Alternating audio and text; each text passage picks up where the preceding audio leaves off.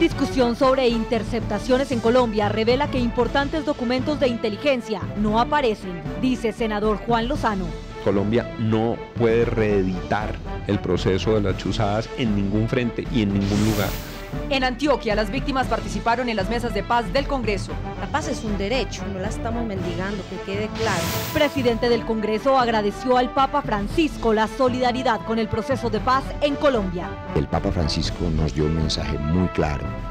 Tienen que perseverar, dijo, en el proceso de paz. Senado entrega balance de audiencias públicas realizadas en todo el país sobre el tema de salud. En dos semanas empieza debate de reforma de este sector en Colombia. Poner un punto final en esos abusos que se cometieron a través de las EPS. Congreso aboga por los usuarios de telefonía celular, pide cumplimiento de las empresas y pago por mal servicio. Muchísimo, se caen. Y otras veces se marco y queda mudo. La senadora Maritza Martínez Aristizábal dijo en debate de la Comisión Quinta que Pacific Rubiales no es una empresa confiable para su socio Ecopetrol y anunció creación de comité para defender los intereses de Colombia. Debe ir encaminada más bien a la operación directa de este campo por parte de Ecopetrol. Después de 10 años, el municipio de Pacho, en Cundinamarca, tendrá gas natural. Se acaba el gas y el carro no pasa. Sentido homenaje rindió al Congreso a la senadora Gilma Jiménez. A la congresista defensora de los niños la acompañó su hija. Como abuela es la mejor súper alcahueta. Tenemos las respuestas de nuestros televidentes sobre sus aportes a la paz del país y lo que dicen los senadores en la red. Y en Para Contar Espere, las nuevas funciones que debe tener el Banco de la República y la serenata que le dieron al Congreso las mariachis colombianas.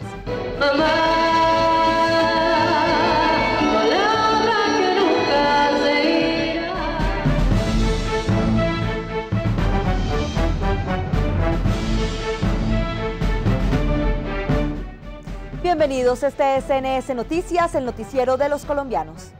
La creación de la Agencia de Inteligencia en Colombia no ha sido suficiente para evitar las interceptaciones a altas personalidades y miembros de la prensa colombiana. El senador Juan Lozano asegura que se ha perdido información de inteligencia que estaba en los archivos del DAS. Las denuncias del senador Juan Lozano incluyen no solo la pérdida de importantes documentos de inteligencia que tenía el desaparecido DAS, sino las interceptaciones que aún continúan por parte de diferentes entidades. Evitando que exista una dispersión de instituciones cumpliendo funciones de inteligencia y de interceptación. Colombia no puede reeditar el proceso de las chuzadas en ningún frente y en ningún lugar. El senador Lozano, en debate de la Comisión Segunda, exigirá respuestas frente a las amenazas a periodistas. Y todo esto es, difícil, es un momento duro para la prensa, un momento duro para la investigación, un momento duro para las, los que nos atrevemos a hablar de paz y los que también investigamos sobre toda la corrupción y la, y la relación entre ilegales y políticos en Colombia. Al debate están citados el director de la Agencia de Inteligencia y el director de la Policía Nacional, entre otros. Se cita una sesión adicional a la que tiene que concurrir el almirante cabeza de la inteligencia colombiana. Con una masiva asistencia iniciaron las segundas mesas regionales de paz que concentraron en Río Negro, Antioquia, a víctimas de todos los actores armados, incluso del propio Estado. No anhelamos la paz y es que la paz es un derecho, no la estamos mendigando, que quede claro. Más de 300 organizaciones de víctimas se reunieron en Río Negro, Antioquia, para mostrar su respaldo a la paz y a la reconciliación nacional. Quieren trabajar por un país eh, en paz y sobre todo para dejarle a esos hijos que no les toque vivir la suerte que ellos han corrido en medio de tanta violencia. Los victimarios tienen que reconocer que estos hechos de violencia deben de hacerse conocer debe de pedirse el perdón. Para el delegado de las Naciones Unidas en Colombia lo importante es garantizar la no repetición.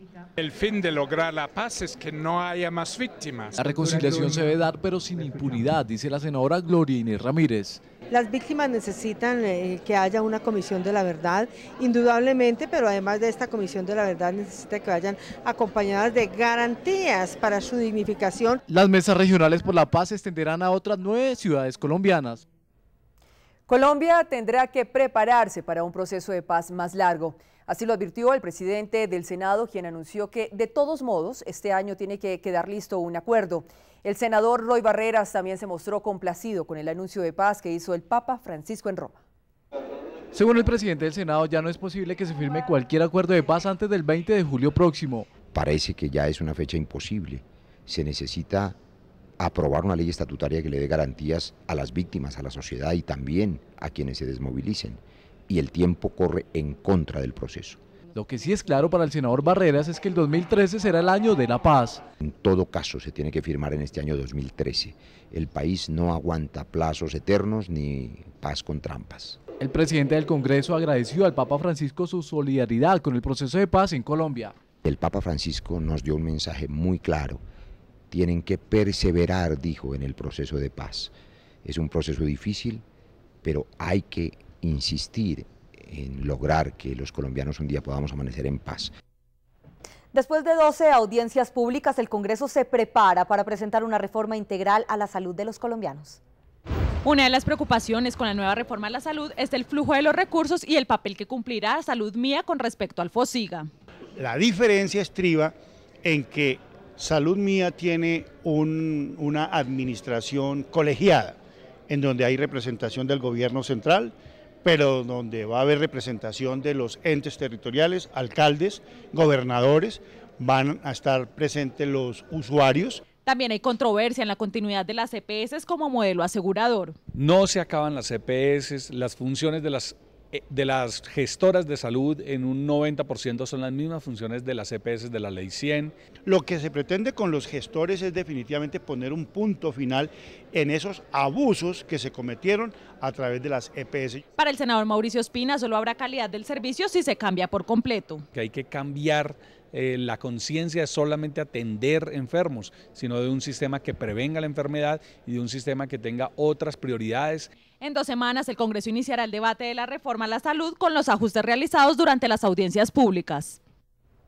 La senadora Maritza Martínez Aristizábal pidió esta semana en un debate de control político que la empresa Pacific Rubiales le responda al país y a Ecopetrol por las deudas asumidas.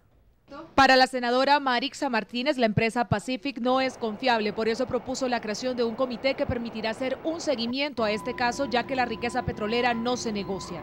Queremos que en esta ocasión tengamos tiempo suficiente para eh, constituir el comité, hacerle seguimiento al tema, pedir estudios técnicos sobre los cuales descanse cualquier decisión que nosotros creemos debe ir encaminada más bien a la operación directa de este campo por parte de Ecopetrol. Sin embargo, el presidente de Ecopetrol informó sobre el compromiso que asumió la petrolera canadiense para responderle al Estado. Indudablemente que la alternativa de referencia es que Ecopetrol tome el 100% de los intereses en el campo.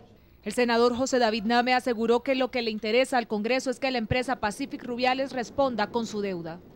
Que Pacific Rubiales va a pagar eh, la cifra que dictaminó el laudo arbitral, que se reservan el derecho de presentar una demanda ante el Consejo de Estado.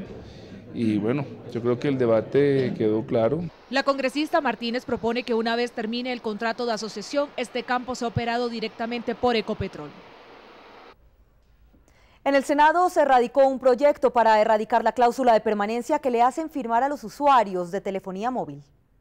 El proyecto de ley prohibirá las cláusulas de permanencia mínima para que los usuarios de más de 50 millones de líneas activas en Colombia se puedan mover de un operador a otro cuando quieran. Lo que queremos entonces es que el usuario, a partir de que se promulgue esta ley, que esperamos sea ley de la República, se pueda mover con toda la tranquilidad y que no le digan que está amarrado uno o dos años. Quienes tengan deudas con un operador podrán trasladar la cartera al que le brinde mejores opciones de cobertura, calidad y economía. Yo quedo satisfecho cuando no se me caiga la llamada, cuando la llamada me pueda durar, cuando tenga buena cobertura. Y obviamente buscamos que las tarifas también cada vez sean más bajas y que se cobre por lo que tiene que cobrar, no por minutos, sino por segundos. Con el respaldo de 11 senadores de la Comisión Sexta, se espera iniciar el debate de este proyecto la próxima semana. A raíz del incremento de quejas de parte de los usuarios por el mal servicio de telefonía celular en Colombia, el Senado propone un proyecto cuya finalidad es brindarles un mejor servicio. Las quejas de los usuarios de telefonía celular crecen cada día más por cuenta de las caídas de las llamadas, la falta de cobertura y la mala señal, entre otras. Se caía muchas veces la señal, eh, los mensajes de texto que uno nunca pedía, pero más sin embargo llegaban. Se caen las llamadas, muchísimo, se caen.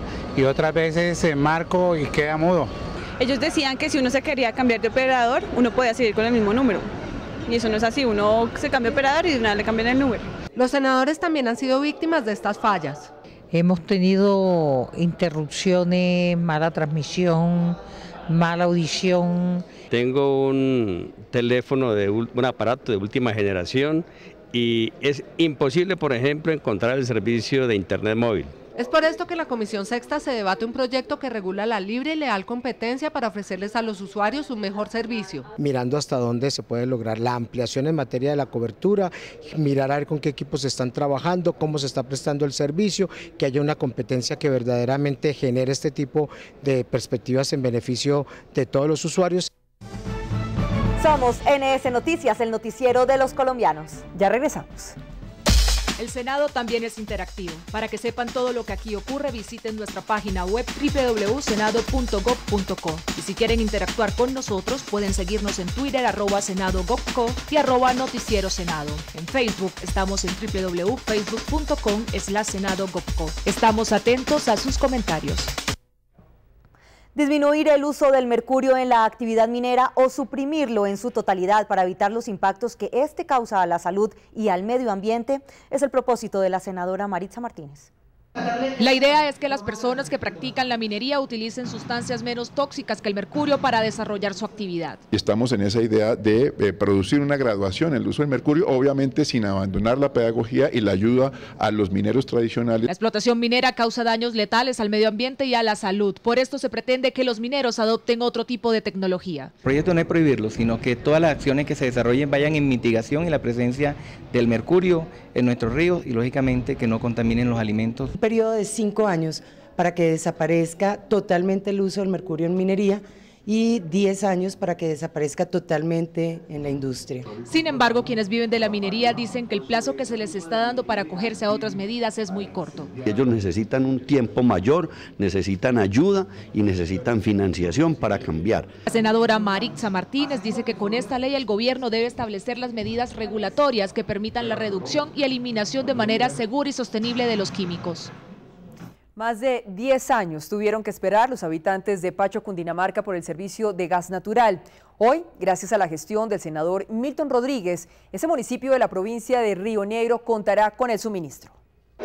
Los más felices con el proyecto son los habitantes de Pacho, quienes dejarán atrás muchas dificultades que tenían con las pipetas de gas. La verdad hay veces que uno se acaba el gas y el carro no pasa, le toca uno esperar, meterle la espelma por debajo del cilindro, arriesgando uno que se explote su casa. Los trabajos del gas natural comprimido iniciarán el primero de junio próximo trayendo múltiples beneficios a los usuarios. La familia terminaría pagando por su acometida, si está en estratos 1 o 2, solo 150 mil pesos. Quienes gestionaron el proyecto aseguran que este aliviará el bolsillo de las 4 mil familias beneficiadas. Tendrán que dejar de pagar las pipetas del gas licuado o gas propano y podrán tener la posibilidad de acceder a un gas más barato y más seguro. Para la familia que está pagando aproximadamente 45 mil pesos por la pipeta de gas, vendría a pagar solo 29 mil pesos por un recibo mensual de gas. El costo del proyecto es de 3.200 millones de pesos y fue cofinanciado por varias entidades, entre ellas la Alcaldía de Pacho, el Ministerio de Minas y la Gobernación de Cundinamarca. En un foro en Bucaramanga que reunió a gremios, gobiernos, senadores y mandatarios de la región, se discutió sobre la crisis del agrocolombiano. El senador Manuel Guillermo Mora solicitó al Ministerio de Agricultura recursos importantes para la consolidación del sector.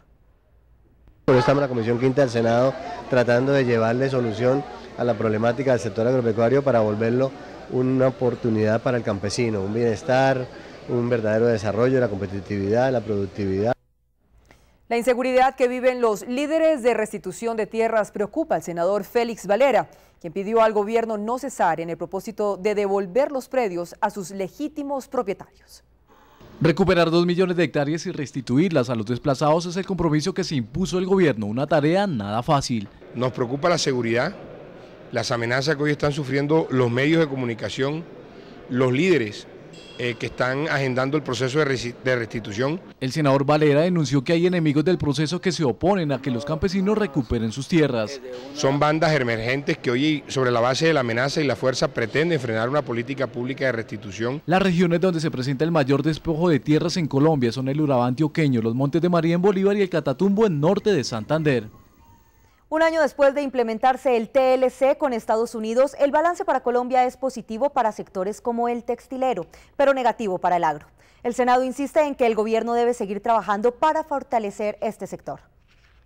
Un año después de la entrada en vigencia del TLC con Estados Unidos, el balance es positivo para algunos sectores. Especialmente el banano, las flores, todo lo que tiene que ver con las exportaciones que son la fortaleza nuestra y nosotros una potencia en el tema minero y en el tema petrolero. Otros sectores como el agro siguen siendo los más afectados de la implementación de este acuerdo comercial. No hay vías, eh, las aduanas eh, muy anticuadas, eh, muchos trámites, todo esto pues nos, nos da un rezago, no solamente con Estados Unidos, sino con todos los países. El Senado considera necesario reforzar la ayuda del gobierno para volverlos más competitivos. La oportunidad que tenemos es muy grande, podemos llevar muchos productos, podemos ser más competitivos y podemos desde luego lograr mayores resultados. En este último año las importaciones norteamericanas hacia Colombia pasaron de 13.279 a 15.904 millones de dólares.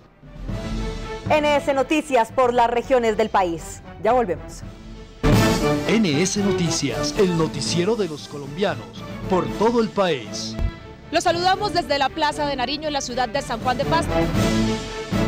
¿Qué representa la declaratoria de patrimonio cultural? El noticiero del Senado va a estar muy pendiente de lo que suceda con este litigio territorial. Los precarios salarios de los trabajadores portuarios aquí en Buenaventura. El goleo es el deporte profesional por excelencia de los llanos orientales. NS Noticias en las regiones. Una gran sorpresa se llevó la senadora Gilma Jiménez al ser homenajeada por sus colegas en la plenaria del Senado. La congresista fue condecorada por su liderazgo, exaltándola como una mujer apasionada por su trabajo, la familia y ante todo por ser una luchadora incansable por los derechos de los niños del país.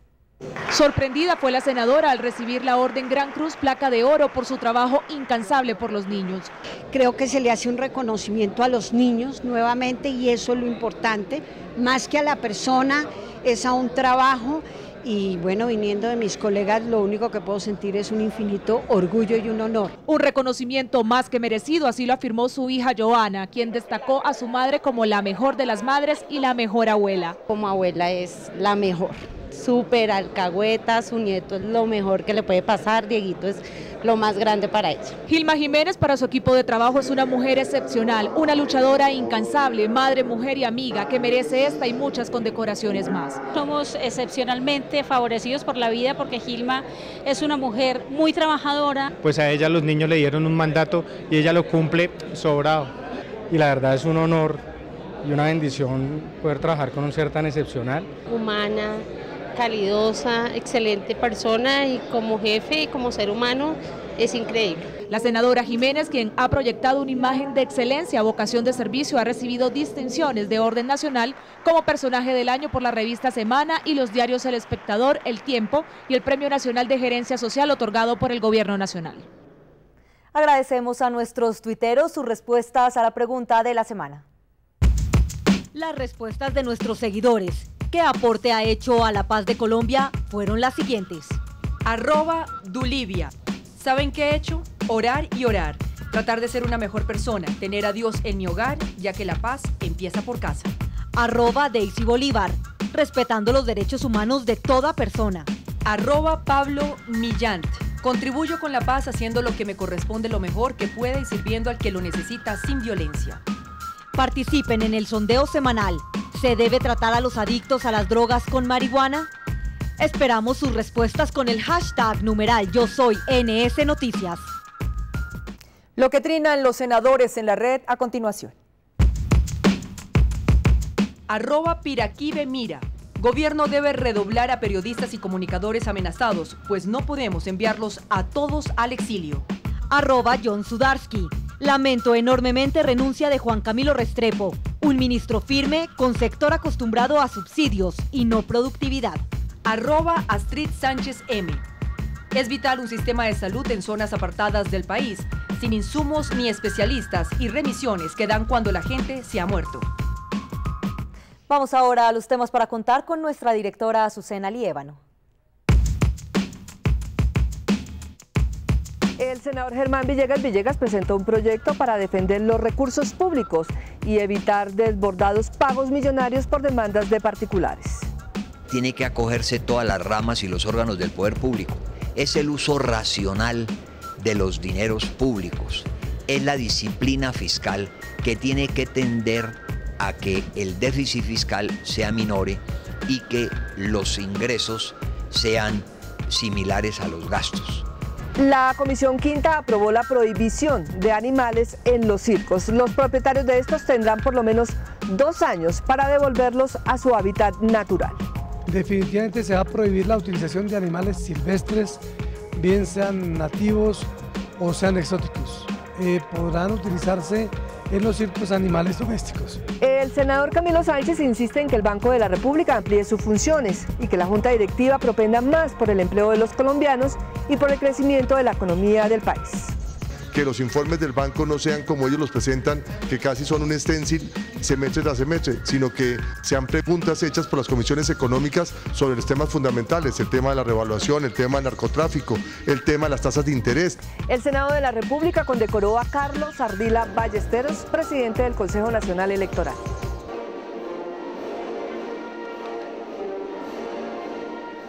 La Reina Nacional del Bambuco aprovechó la plenaria del Senado para invitar a los senadores y a los colombianos al Festival Nacional del Bambuco en Neiva, mejor dicho, a pegarse la rodadita. A todos ustedes que se pegan la rodadita, porque en junio todos los caminos conducen al Huila. Las que también estuvieron en el Senado fueron las mariachis colombianas, que le dieron un toque mexicano al legislativo.